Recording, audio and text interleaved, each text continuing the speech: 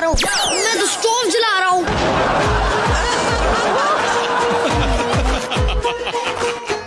कुछ खाओगे? तो आज क्या रख कर बैठे हो? अब तक तो हौसला ही रख कर बैठा हूँ कि कुछ ना कुछ तो बना ही लूँगा। तेरी और मेरी फौज, हम दोनों को रोज तनहा अकेला छोड़ जाती है। तुझे क्या लगता है? मुझे तो बड़ी ठंड लगती है। चाय पीने का मन है। और चाय पियोगे? हाँ मस्त अदरक वाली। तो दूध दो ना। दूध मांगोगे तो खीर देंगे। कश्मीर मांगोगे तो चीर देंगे। वो चाय बनानी है मेरे पाई पिछली बार भी आपने दूध की जगह खीर देती थी। हमें चाय की जगह मालपुड़े बनाने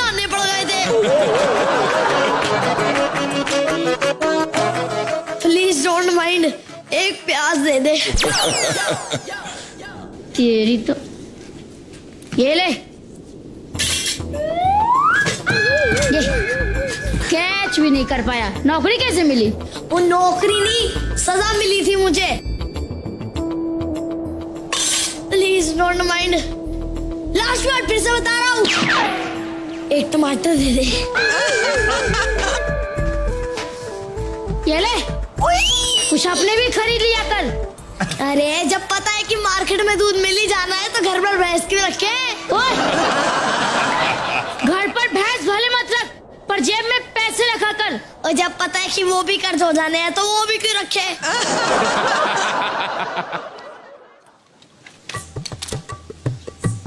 इधर आओ।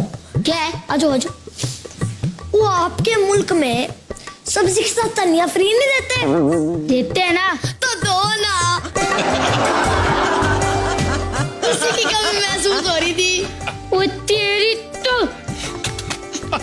कीड़ों को मैं ये ले मार्केट दे रहा हूँ।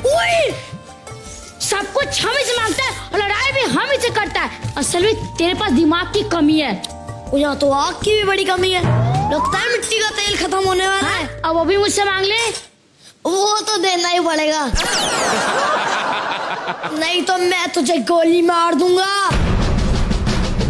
ओए तो मार ना मार। रोका किसने?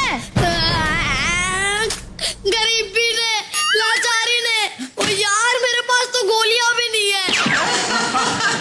एक दो गोलियाँ भी दे दो। वो जब तेरे पास कुछ है ही नहीं तो हमेशा लड़ने का मूड क्यों बनाते रहते हो? ओ यार आपके मुल्क ने रॉकेट बना लिया जापान ने बुलेट ट्रेन।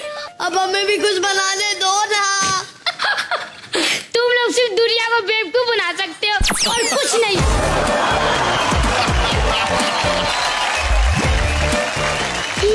बार एक बार फाइनल मुझे बता दे तू चाहता क्या है? फाइनल बता दे। हाँ।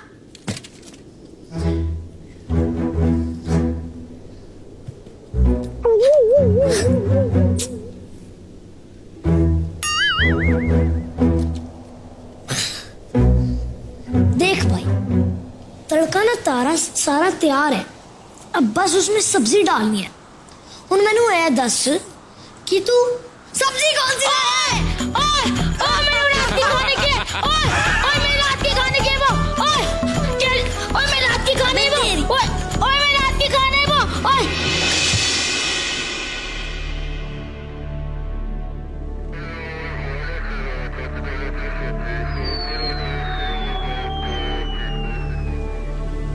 ओ मैंने एक बात बता। बोल। हम दोनों के खान पान पहनावे सब एक सा ही है। बोली भी अलग नहीं फिर सोच अलग क्यों? तेरे थोड़ी तीखी हो गई। और तेरी मिर्ची हमेशा तीखी ही रहती है। मुझे तेरी खाने की आदत हो गई है ना। और तू खाना अच्छा बनाता है। चल झूठे अरे कल क्या बनाएगा खाने में? कल?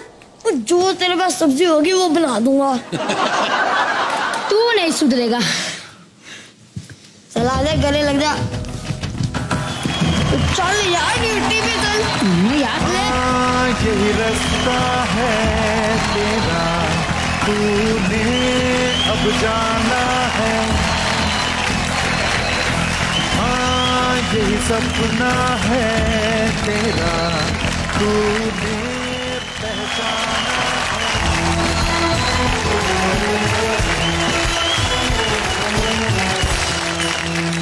साजिद सर क्या कहना चाहेंगे? बहुत अच्छा लगा बहुत अच्छा मैसेज है।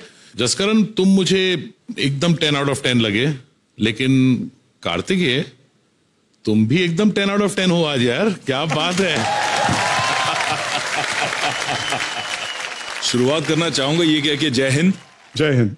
और बहुत खुशी हुई कि हम ऐसे शो में हैं इंडिया बेस्ट ड्रामेबाज जहाँ पे इतनी अच्छी अच्छी बातें स्टेज पर उभर कर आती हैं। आप दोनों का परफॉर्मेंस बहुत अच्छा रहा। क्या बात है सुपर जोरदार एक्टिंग बहुत अच्छी लगी। और इन्होंने जिस तरह से एक्ट किया है तो हमारी जो इंडिविजुअल लाइफ है हमारी जो सोशल लाइफ है उसमें ऐसे हमें प्यार मोहब्बत से रहना पड़ता है और रहना ही चाहिए। और जहाँ तक सीमाओं का प्रश्न है सीमाओं में भी यदि दोनों मुल्क समझदार हों तो इसी तरह से रहा जा सकता है। कोई भी सभ्य देश ऐसे ही रहता है। मुझे लगता है इन दोनों बच्चों से हिंदुस्तान और पाकिस्तान की जो रहनुमा है वो काफ़ी कुछ सीख सकते हैं। क्या बात। बिल्कुल। बहुत बहुत धन्यवाद। बहुत मेच्योरिटी थी इस एक्ट में बहुत लेयर्स दिए हैं आपने आपके परफॉर्मेंस में। मैंने ये इतने लेयर्स एक्सपेक्ट नहीं किए थे। तो फ्रैंकली मैं बहुत प्लेजेंटली सरप्राइज़ हूँ कि आपने इतना अच्छा एक्ट किया है। Thank you so much